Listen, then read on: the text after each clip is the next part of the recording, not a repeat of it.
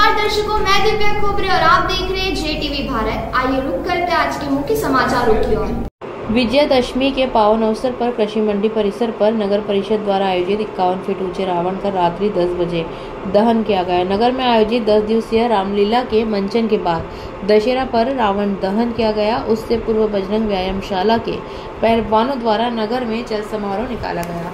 जो कि नगर भ्रमण करने के बाद मंडी परिसर पहुँचे, जहाँ व्यायामशाला के पहलवानों द्वारा चक्री झूला मलखम डमरू पर बैलेंस साथ में चक्री चार जलती हुई रिंग में से निकलना सहित कई करतब दिखाए, जिन्हें देखकर सभी ने सराहा। व्यायामशाला संचालक ओंकार लाल शर्मा ने बताया कि इस बार नगर के नन्हे नन्हे बालक बालिकाओं द्वारा करतब दिखाए जा रहे हैं, जो कि व्यायामशाला के पहलवानी की तीसरी पीढ़ी है, जो नगर में अपनी कला का प्रदर्शन कर रही है और आने वाले समय का यह भविष्य है जो नगर का नाम रोशन करेंगे।